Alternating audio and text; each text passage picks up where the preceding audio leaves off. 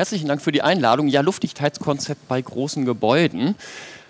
Gibt es da ein Luftdichtheitskonzept? Ich sehe es eher als eine große zusätzliche Aufgabe für uns alle, die wir uns mit Luftdichtheit beschäftigen, die Qualitätssicherung auf dem Bau auch mit einzubringen.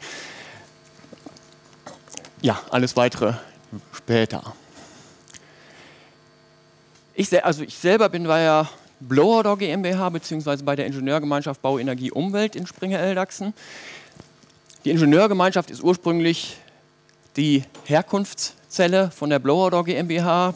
Die haben irgendwann vor, weit vor meiner Zeit angefangen, die Gebläse zu importieren und in Europa zu vertreiben. Das heißt, die beiden Unternehmen hängen direkt sehr eng zusammen. Ich mache technische Unterstützung für die Blower ich mache in der Entwicklung für die Blower GmbH mit und ich mache aber auch Blower Messungen, Messunterstützung für Kunden und Blower Messungen eigenständig bieten wir an, um in der Erfahrung zu sein und in der Praxis. Ja, vertreiben tun wir alle Systeme von Luftdichtheitsmessgeräten. Mhm beziehungsweise bei der Präzisierung nach vielen Jahren ist mir aufgefallen, dass wir natürlich nur Luftundichtigkeiten messen können, auch wenn es immer von Luftdichtheit die Rede ist. Wir versuchen so möglich wie Luft, luftdicht zu werden, aber wir messen die verbleibenden Undichtigkeiten. Das ist jetzt der Minifan, das kleine handliche Gebläse, vor allen Dingen im Mehrfamilienhaus, wenn die Wohnungen einzeln gemessen werden müssen, was wir in Deutschland noch nicht so haben. Äh, daneben Volumenstrombestimmung zur Einmessung von Lüftungsanlagen, von Zu- und Abluftventilen von Lüftungsanlagen, druckkompensiertes Messsystem, auf, basierend auf eben diesem Minifan mit dem DG700, was zu den Produkten gehört und dann noch dazu die Haube mit entsprechenden Hintergrundwissen. Und die Dichtheit von Lüftungskanälen, äh, vorwiegend im Wohnungsbau, äh, aufgrund der Größe, ist aber auch geeignet für jegliche Messung kleiner Volumenströme. Ein ganz hervorragendes, genaues Gerät, das Micro-Leakage-Meter. Mm, ja, das sind aktuell unsere Tätigkeiten bei der Blower GmbH. Ansonsten möchte ich darauf hinweisen, wir kümmern uns und ich, ja, wir unterstützen die Sustainable Development Goals von der UN beschlossen und Nachhaltigkeit ist gewünscht. Und das Ganze, wenn man das durchdenkt, betrifft das viele Bereiche des Lebens, nicht nur die Energie und den Energieverbrauch und die Energieeffizienz. Und äh, ja, letztlich heißt es ja, wenn wir hier in diesem Land, in unserem Land, Deutschland, irgendwie nachhaltig leben wollen, müssen wir unseren Energiekonsum auf ein Zehntel oder ein Zwanzigstel runterfahren, wenn wir die Energiequellen im eigenen Land haben wollen. Das ist so das Ziel, wo wir darauf hinarbeiten, was wir auch mit allen Transportwegen berücksichtigen. Sowohl Lieferkette versuchen wir das zu berücksichtigen, als auch Personentransport. Jetzt die Frage, was ist ein großes Gebäude? Wer hat da eine klare Aussage? Gibt es hier in der Schweiz eine klare Aussage, was ist ein großes Gebäude? Also wir haben ja die alte klassische Zahl 4000 Kubikmeter in der EN 13829 und ab dann darf ich mit 25 Pascal die, die Messung durchführen. Mehr steht da ja auch nicht drin. Ist also auch eher eine pragmatische Zahl, aber keine regulative. Wir haben in der Energieeinsparverordnung von 2014, da haben wir jetzt die Vorgabe ab 1500 Kubikmeter Luftvolumen des Gebäudes. Ab da sind wir gehalten, auch noch den Q50 zu bestimmen, den hüllflächenbezogenen Volumenstrom. Nicht mehr nur die Luftwechselrate des inneren Luftvolumens, sondern auch den Q50. Das ist sehr sinnvoll, das ist ein guter Schritt in die richtige Richtung. Die Grenzwerte sind sehr tolerant. Äh, da kann man noch ein bisschen ambitionierter werden. Ja, ansonsten großes Gebäude äußert sich wahrscheinlich eher in der Nutzung. Wir haben zwar auch im Wohnungsbau große Gebäude, äh, aber sind ja eher gewerbliche Bauten, nicht Wohnbauten, die in die große Kubatur kommen. Das Luftdichtheitskonzept. Die Inhalte sind bei uns dargestellt im Leitfaden Luftdichtheitskonzept Konzept erarbeitet vom Fachverband Luftdichtheit im Bauwesen in Kooperation mit der KfW.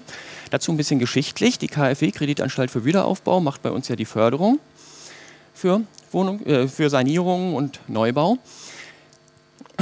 Haben irgendwann festgestellt, sie fördern eine Menge, aber die Qualität auf der Baustelle ist schlecht, haben langsam angefangen, Qualitätssicherung mit einzufordern haben dann langsam angefangen, das einzufordern, was eigentlich ohnehin geschuldete Leistung auf der Baustelle sein sollte. Angefangen hat es mit dem hydraulischen Abgleich, der bei uns in Deutschland seitdem schon ein Begriff geworden ist, der vorher überhaupt nicht berücksichtigt wurde. Und auch mit dem Luftdichtheitskonzept, die Luftdichtheit ist zu planen, wurde festgelegt. Da ging die Unruhe los bei unseren Energieberatern, bei unseren Planern. Was ist ein Luftdichtheitskonzept? Was muss ich da jetzt liefern? Was ist da Pflichtleistung fürs Luftdichtheitskonzept?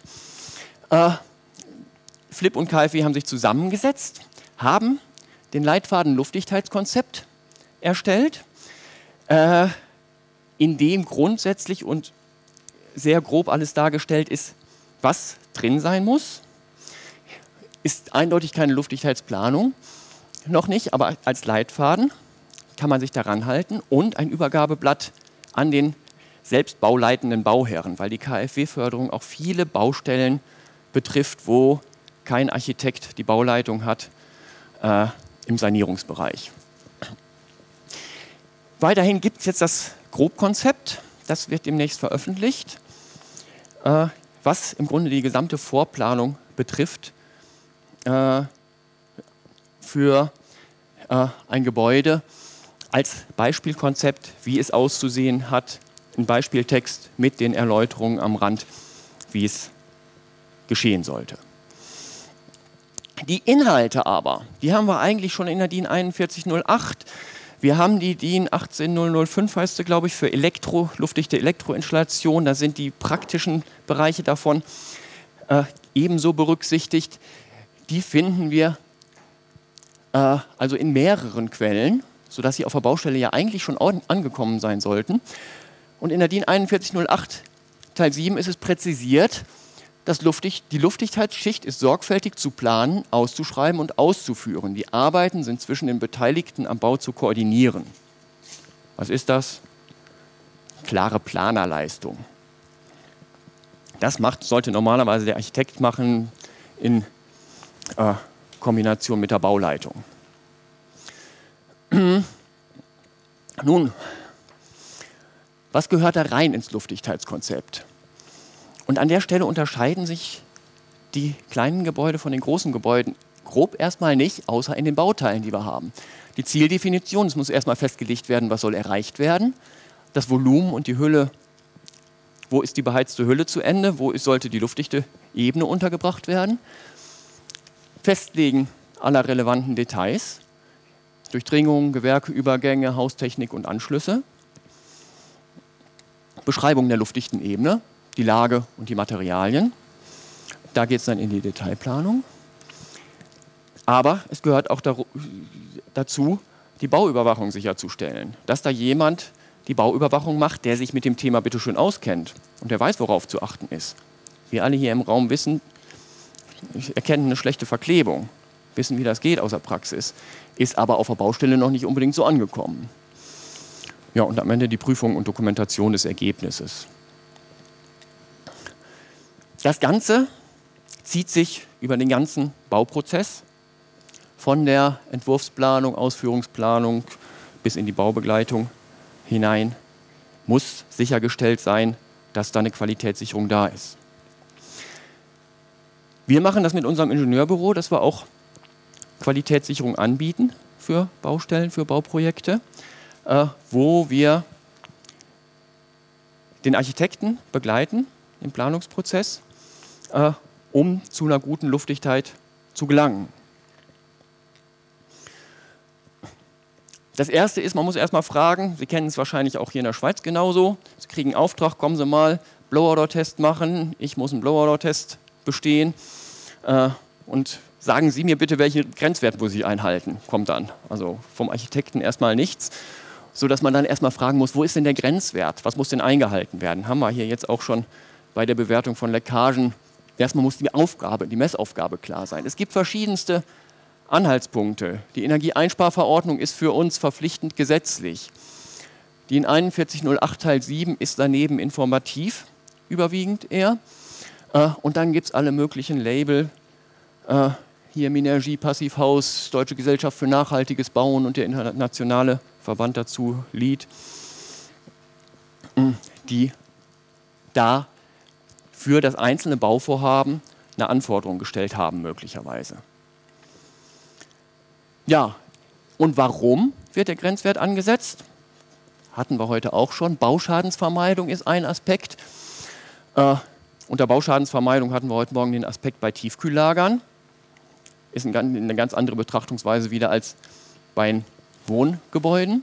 Energieeinsparung, Funktion von Lüftungsanlagen. Die großen Gebäude sind eigentlich alle mit großer Lüftungstechnik ausgestattet. Behaglichkeit und Arbeitsplatzqualität für Büroräume. Also kalte Füße Beschwerden gibt es auch immer wieder oder Hohlboden, Doppelboden äh, durchströmt. Schadstoffe, Eintrag und Austrag, die Reinraumproblematik. Da kriegen wir ja noch einen Vortrag zu. Und Geruchsübertragung, also im, auch im Zusammenhang mit der Schadstoffübertragung, Luftdichtheit zwischen Produktions- und Aufenthaltsbereichen, äh, maximale Arbeitsplatzkonzentrationen.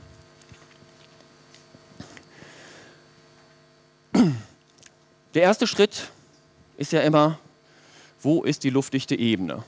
Hatten wir eben auch, wenn ich eine Leckage bewerten soll, ich muss erstmal wissen, was ist die luftdichte Ebene eigentlich? Wo liegt die eigentlich? Vorher brauche ich da überhaupt nichts zu, zu sagen, wenn die luftdichte Ebene nicht klar ist. Hm. Selten mal kriege ich solche Pläne auf den Tisch, wo schon klar gemacht ist, welche Zonen sind wie beheizt, wo sind Trennzonen, wo sind Trennbereiche dazwischen. Normalerweise sind die Pläne sauber schwarz-weiß, keinerlei Markierung, wo sind die Grenzen. ja, so sollte es aussehen und das ist eigentlich auch schon der erste Schritt im Luftdichtheitskonzept, wenn wir das als Beratende, als Berater machen, den Architekten einfach zu drängen, hier, wo ist die luftdichte Ebene? Weil ansonsten weiß auch keiner im weiteren Bauprozess, wo muss er irgendwie luftdicht rangehen. Allein der Haustechnikplaner muss die rote Linie haben, damit er überhaupt die Haustechnik in den Anschlussbereichen äh, durch die Gebäudehülle sauber planen kann. Der zweite Punkt, festlegen, welche Details sind jetzt wichtig bei diesem Gebäude. Was ist hier, was fällt mir auf? Wo sollte genauer hingeschaut werden? Die Anschlüsse, Durchdringung, Gewerkeübergang und Haustechnik. Einfach mal in allen Schnitten und Grundrissen durchgehen und die auf, die auf die Problemzonen hinweisen, wo eine gute Detailplanung auch hinsichtlich der Luftdichtheit erfolgen muss, damit es nachher gelingt.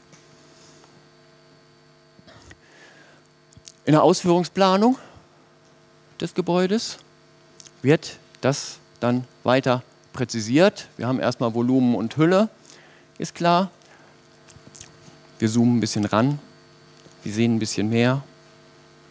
Mit unserem Fachwissen können wir sagen, ja, hier, den Punkt will ich mal genauer sehen. Gucken wir uns das Detail an. Das ist die Detailplanung, wie sie vom Architekt kommt.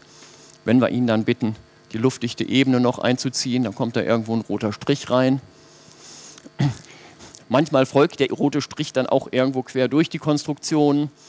Äh, und spätestens an der Stelle wird offensichtlich, hier fehlt jetzt ein Anschluss, irgendwie muss rot zu rot. Also äh, sitzen wir dann mit dem Architekten gemeinsam am Tisch. Was ist denn hier eine geeignete Verbindung? Welche Materialien da wieder verwendet werden, da möchte ich dem Architekten alle Freiheit lassen. Das kann der entscheiden, wie der, auch wie der das im Bauablauf unterbringt. Da kennt er sich besser mit aus als ich, der ich Messtechniker bin. Äh, aber es muss klar sein, hier muss die Verbindung da sein. Und er muss mir mit seinem Detail glaubhaft machen, dass die so ausführbar ist.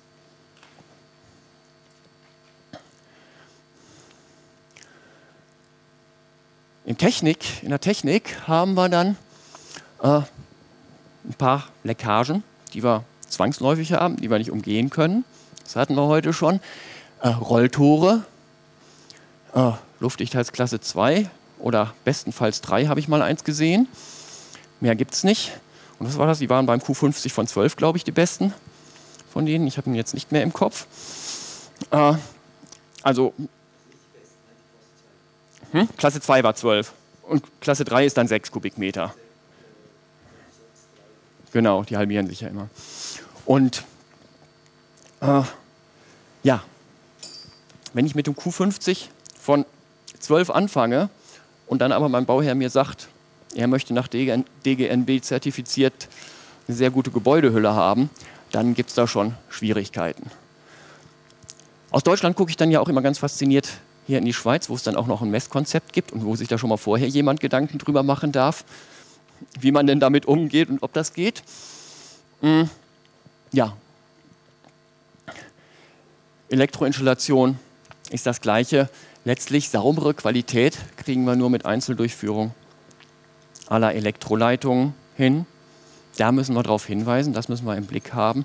Und die Erfahrung ist, dass, das bei uns zumindest die Baubeteiligten bisher noch nicht so richtig gut im Blick haben. Wenn man ihren Fokus darauf setzt, dann klappt es. In der Regel. Wenn, wenn ein guter Bauleiter das im Fokus hat, dann klappt es. Äh, aber es muss äh, erstmal darauf hingewiesen werden und dann auch kontrolliert werden. Ja, äh, Küchenabluft, große Volumenströme.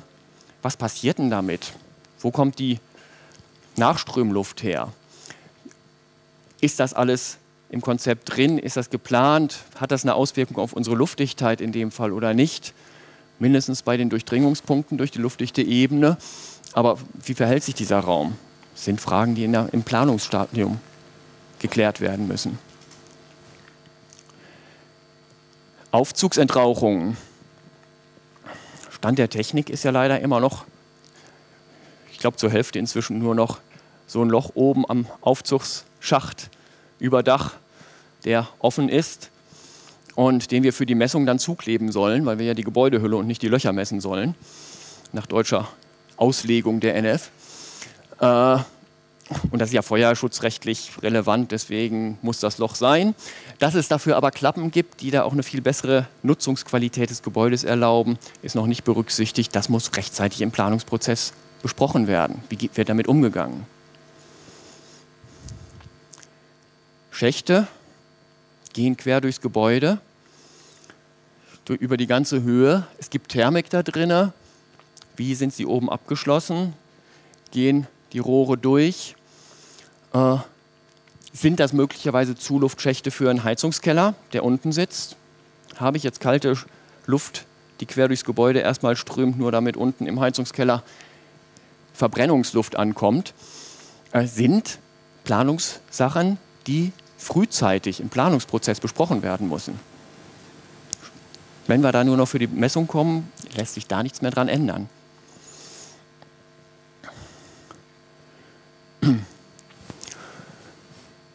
Wir haben dann auch die Lüftungsanlagen. Wo sind sie aufgestellt? Äh, wieder welches Zusammenspiel haben sie mit der beheizten Hülle? Stehen sie in der beheizten Hülle außerhalb? Äh, wie sind die Anschlüsse? Haben wir großflächige Luftansaugungen? Ja, und die Dichtheit von den Lüftungskanälen äh, ist in dem Augenblick eigentlich auch eine Betrachtung.